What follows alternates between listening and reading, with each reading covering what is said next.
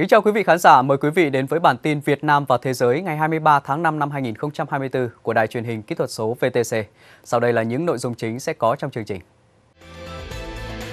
Kỷ niệm 10 năm Việt Nam chính thức tham gia hoạt động gìn giữ hòa bình Liên Hợp Quốc, Cục gìn giữ hòa bình Việt Nam tổ chức lễ báo công sơn Bắc. Nhân ngày quốc tế đa dạng sinh học 22 tháng 5, Vườn Quốc gia Phú Quang, Hà Tĩnh diễn ra sự kiện hành động vì động vật hoang dã.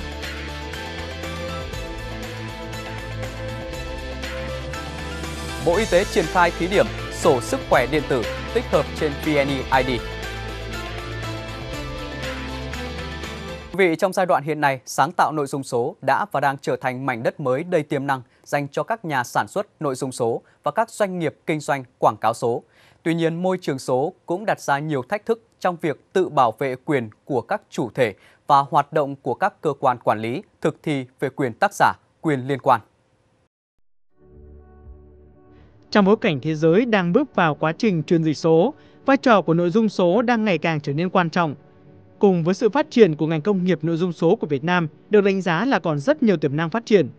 Việc có thể khai thác tiềm năng và biến công nghiệp nội dung số trở thành một ngành công nghiệp mũi nhọn nhằm mang lại giá trị lớn hơn cho đất nước và xã hội sẽ phụ thuộc rất nhiều vào chính sách của nhà nước cũng như sự năng động và quyết tâm của doanh nghiệp trong ngành, đặc biệt là các doanh nghiệp có thể sản xuất nội dung và cung cấp ra thị trường quốc tế. Môi trường kỹ thuật số ấy đang phát triển rất là nhiều, vậy nên cái à, việc mà kinh doanh những cái sản phẩm nội dung số này ở trên môi trường số ấy, thì thực sự là nó à, mang lại rất nhiều cái vấn đề về à,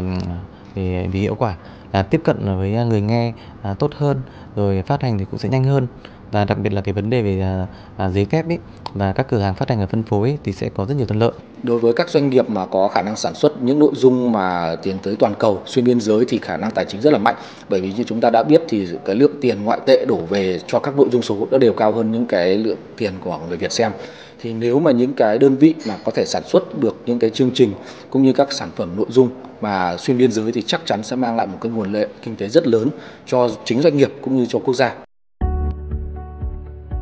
Nhiều nghiên cứu đánh giá chỉ ra rằng ngành nội dung số của Việt Nam đang rộng đường để xuất khẩu các sản phẩm ra thị trường quốc tế nhờ sự nhanh nhạy, nắm bắt xu thế cũng như khả năng sáng tạo của các doanh nghiệp Việt.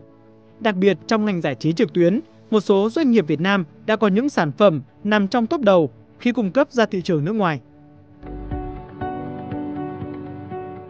Việt Nam là một trong những nước đứng đầu về Internet, chính vì thế nên khả năng học hỏi cũng như các kinh nghiệm sản xuất của Việt Nam không hề thua kém các đơn vị trên thế giới. Tuy nhiên thì à, đối với việc sản xuất nội dung trên nội dung số thì các đơn vị à, ở Việt Nam vẫn còn gặp những cái trục trặc và gặp những vướng mắc về cái việc mà bảo vệ những cái sản phẩm mình làm ra. Khi liên quan đến kinh tế số, liên quan đến kinh doanh trên mạng Internet thì nó không bị giới hạn bởi biên giới quốc gia và trong vấn đề về quyền trí tuệ nó có rất nhiều các nội dung nó sẽ gây phức tạp cho các doanh nghiệp ví dụ như là vấn đề về bảo hộ quyền trí tuệ có tính chất lãnh thổ với mỗi một cái đối tượng là tài sản trí tuệ của doanh nghiệp cho nên các doanh nghiệp của Việt Nam sẽ có thể sẽ rất tốn kém nếu như chúng ta không có một cái sự chuẩn bị trước để sẵn sàng cho những cái vụ tranh chấp. Ngày nay, với sự phát triển không ngừng của khoa học và công nghệ, kỹ thuật số, đã đưa chúng ta đến công cụ sáng tạo mới, đồng thời tạo ra môi trường lưu giữ, phương thức phân phối và các hình thức khai thác.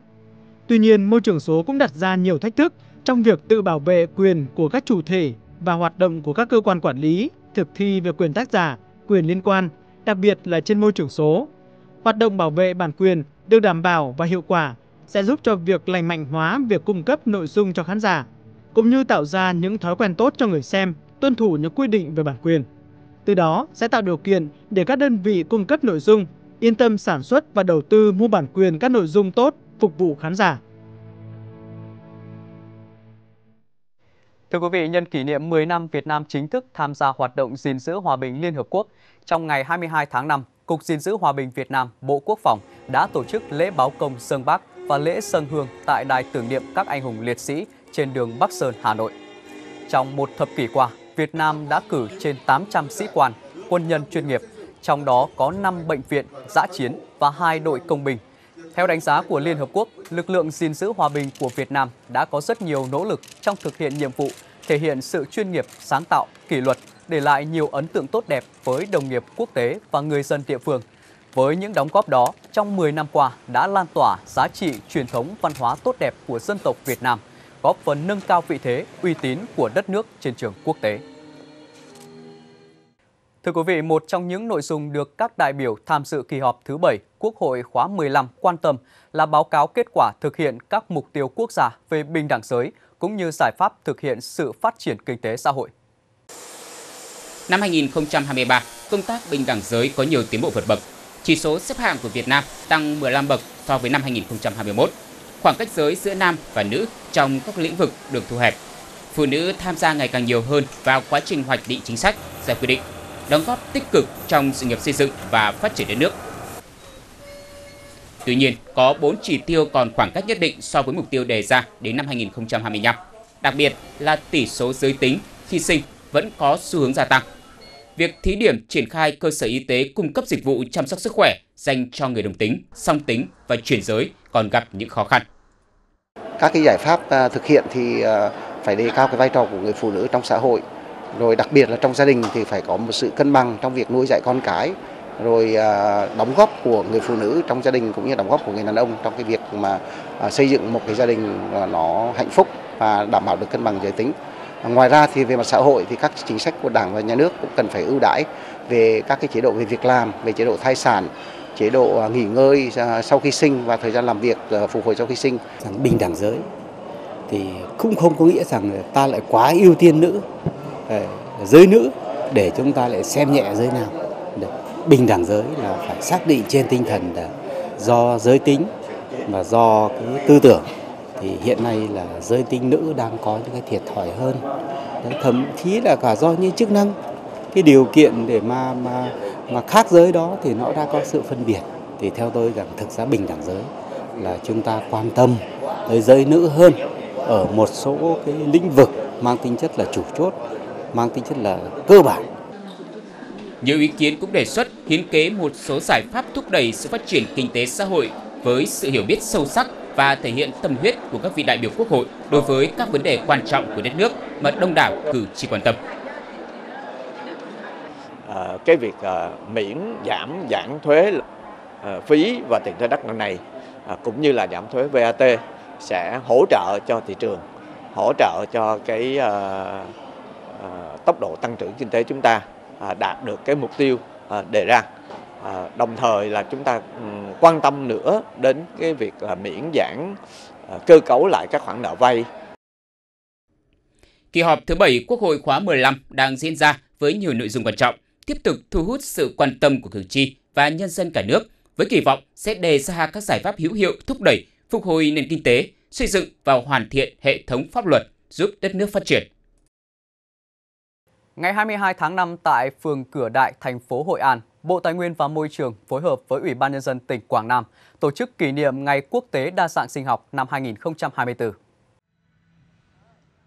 Tại hội nghị thượng đỉnh Liên Hợp Quốc về đa dạng sinh học lần thứ 15, chính phủ khẳng định Việt Nam tiếp tục tham gia tích cực vào những nỗ lực chung nhằm bảo tồn đa dạng sinh học toàn cầu, hướng đến đạt được các cam kết quốc tế quan trọng khác, mang tầm chiến lược để đạt mục tiêu kép. Việt Nam sẽ trung hòa carbon vào năm 2050, quy hoạch phát triển tỉnh Quảng Nam giai đoạn 2021-2030, tầm nhìn đến năm 2050 đã xác định được hướng phát triển Quảng Nam thành một trong các tỉnh tiên phong về việc phát triển nền kinh tế tăng trưởng xanh, kinh tế tuần hoàn và có tính cân đối, hài hòa giữa môi trường và phát triển. Thời gian tới, Quảng Nam tiếp tục nghiên cứu nội dung của khung đa dạng sinh học toàn cầu, chiến lược quốc gia về đa dạng sinh học đến năm 2030, tầm nhìn 2050 để cụ thể hóa, lồng ghép trong kế hoạch thực hiện quy hoạch tỉnh. Nhân ngày quốc tế đa dạng sinh học 22 tháng 5 tại vườn quốc gia Vũ Quang Hà Tĩnh diễn ra sự kiện hành động vì động vật hoang dã với sự hỗ trợ của Cơ quan Phát triển Quốc tế Hoa Kỳ USAID thông qua hợp phần bảo tồn đa dạng sinh học thuộc dự án quản lý rừng bền vững và bảo tồn đa dạng sinh học, dự án VFBC. Vườn quốc gia Vũ Quang là một trong những trung tâm đa dạng sinh học bậc nhất của Việt Nam, trong đó có nhiều loại nguy cấp quý hiếm cần được ưu tiên bảo tồn. Vườn nằm trong một vùng sinh thái có mức độ ưu tiên toàn cầu được xác định là cực kỳ quan trọng trong việc bảo tồn đa dạng sinh học cho cả Việt Nam và thế giới. Vườn quốc gia cũng như các cái đơn vị khác đó là thực hiện cái chức năng bảo tồn đa dạng sinh học bảo vệ động vật hoang dã À, chúng tôi đã có những cái chương trình kế hoạch rất là cụ thể nắm bắt được. À, bây giờ tại Vũ Quang còn những loài gì? Mức độ nguy cấp như thế nào? Và chúng tôi sẽ có những cái kế hoạch để à, bảo vệ một cách tốt nhất. Hợp phần bảo tồn đa dạng sinh học dự án VFBC do USAID hỗ trợ đào tạo và thực hiện khảo sát đa dạng sinh học, tiến hành 33 cuộc tuần tra, gỡ bỏ gần 1.500 bẫy và ghi nhận 50 vụ việc vi phạm. Vườn Quốc gia Vũ Quang tiến hành thả tái tạo nhiều động vật hoang dã quý hiếm về để bảo tồn và giữ gìn đa dạng sinh học tại đây. Vườn Quốc gia Vũ Quang có rất nhiều tiềm năng để tiếp tục phát triển và đạt được nhiều thành công hơn nữa trong việc bảo tồn đa dạng sinh học, đặc biệt là trong việc khôi phục quần thể động vật hoang dã. Giống như nhiều khu bảo tồn khác ở Việt Nam, quần thể động vật hoang dã đã giảm trong những thập kỷ gần đây, nhưng đội ngũ quản lý của Vườn Quốc gia Vũ Quang đã chủ động tìm hiểu về tình trạng động vật hoang dã cần được phục hồi. Đây chính là tương lai của công tác bảo tồn ở Việt Nam, không chỉ riêng ở Vườn Quốc gia Vũ Quang. Đây sẽ là ví dụ điển hình và hình mẫu cho các khu bảo tồn khác ở Việt Nam về những việc cần phải làm để nhân giống, tái thả và hướng tới tái hoang dã quần thể động vật hoang dã trong môi trường tự nhiên ở Việt Nam. Hiện 200 đại diện cộng đồng địa phương, cơ quan ban ngành và các em học sinh trên địa bàn huyện Vũ Quang, tỉnh Hà Tĩnh hưởng ứng lời kêu gọi, cam kết không săn bắt, mua bán, tiêu thụ động vật hoang dã. Vườn Quốc gia Vũ Quang cam kết nỗ lực vì đa dạng sinh học, hướng tới trở thành Vườn Quốc gia Vũ Quang, ngôi nhà an toàn của động vật hoang dã. Thưa quý vị, ngày 21 tháng 5, Thủ tướng Chính phủ Phạm Minh Chính ký công điện yêu cầu các bộ, ngành, địa phương chấn chỉnh, tăng cường công tác an toàn vệ sinh lao động. Theo đó, Bộ trưởng Lao động Thương binh và Xã hội tăng cường công tác quản lý nhà nước theo chức năng, nhiệm vụ được giao, thường xuyên kiểm tra, thanh tra, bảo đảm thực hiện nghiêm chính sách, pháp luật về an toàn, vệ sinh lao động, đặc biệt tại các công trình, dự án trọng điểm, trong các lĩnh vực có nguy cơ cao về tai nạn lao động. Các bộ trưởng, thủ trưởng, cơ quan ngang bộ, cơ quan thuộc chính phủ chỉ đạo các đơn vị trực thuộc, các doanh nghiệp hoạt động trong lĩnh vực quản lý, ra soát kỹ các quy định, quy chuẩn, quy trình về an toàn, vệ sinh lao động trong hoạt động sản xuất, kinh doanh, kịp thời khắc phục những tồn tại, hạn chế, bảo đảm tuyệt đối an toàn cho người lao động, tăng cường kiểm tra, xử lý nghiêm các tổ chức cá nhân vi phạm quy định về an toàn, vệ sinh lao động, đặc biệt đối với các công trình, dự án trọng điểm, các doanh nghiệp có nhiều nguy cơ xảy ra tai nạn lao động. Bộ Y tế vừa ban hành quyết định số 1332 về việc ban hành sổ sức khỏe điện tử phục vụ tích hợp trên ứng dụng VNeID theo Bộ Y tế, sổ sức khỏe điện tử sẽ phục vụ việc quản lý, giám định, thanh toán chi phí khám bệnh, chữa bệnh và giải quyết các chế độ liên quan.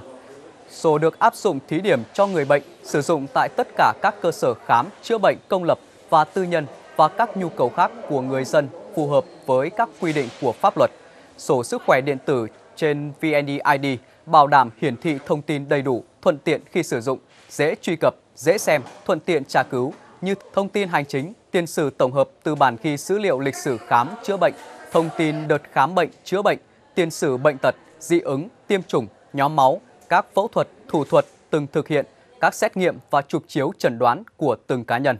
Thưa quý vị, ngày 22 tháng 5, lễ công bố Đại hội Thể thao Học sinh Đông Nam Á ASEAN School Games, viết tắt là ASG, lần thứ 13 đã diễn ra tại Hà Nội – Đại hội Thể thao Học sinh Đông Nam Á lần thứ 13 sẽ diễn ra từ ngày 29 tháng 5 đến ngày 9 tháng 6 tại thành phố Đà Nẵng. Đại hội có sự tham gia của hơn 1.300 vận động viên, huấn luyện viên từ đoàn thể thao của 10 quốc gia bao gồm Brunei, Campuchia, Indonesia, Lào, Malaysia, Myanmar, Philippines, Singapore, Thái Lan và chủ nhà Việt Nam. Các vận động viên sẽ thi đấu ở 6 môn thể thao, bơi, điền kinh, cầu lông, bóng rổ, pencastilat, vào Việt Nam với tổng cộng 107 nội dung thi đấu. Thông điệp được nêu cao ở Đại hội Thể thao học sinh Đông Nam Á lần thứ 13 là kết nối cùng tỏa sáng. Không chỉ tôn vinh tài năng thể thao mà còn đề cao sự kết nối của học sinh các quốc gia trong khu vực, đoàn kết vì một thế hệ trẻ Đông Nam Á hội nhập và phát triển. Thưa quý vị, hiện các hội đồng xét công nhận tốt nghiệp trung học cơ sở ở Hà Nội đang tổ chức xét công nhận tốt nghiệp, đồng thời phê duyệt và ban hành quyết định công nhận tốt nghiệp trung học cơ sở cho học sinh. Học sinh đủ điều kiện tốt nghiệp sẽ tham dự kỳ thi tuyển sinh lớp 10 vào ngày mùng 8 và mùng 9 tháng 6 tới. Học sinh sẽ được cấp giấy chứng nhận tốt nghiệp trung học cơ sở tạm thời vào trước ngày 31 tháng 5. Sở Giáo dục và Đào tạo Hà Nội sẽ thành lập các đoàn thanh tra kiểm tra việc thực hiện chương trình đánh giá và xếp loại học sinh, xét công nhận và cấp bằng tốt nghiệp trung học cơ sở. Trường hợp đơn vị cá nhân vi phạm quy định của quy chế xét công nhận tốt nghiệp trung học cơ sở sẽ bị xử lý nghiêm. Những thông tin vừa rồi cũng đã kết thúc bản tin Việt Nam và Thế giới ngày hôm nay của chúng tôi. Cảm ơn quý vị và các bạn đã dành thời gian quan tâm theo dõi. Kính chào tạm biệt quý vị.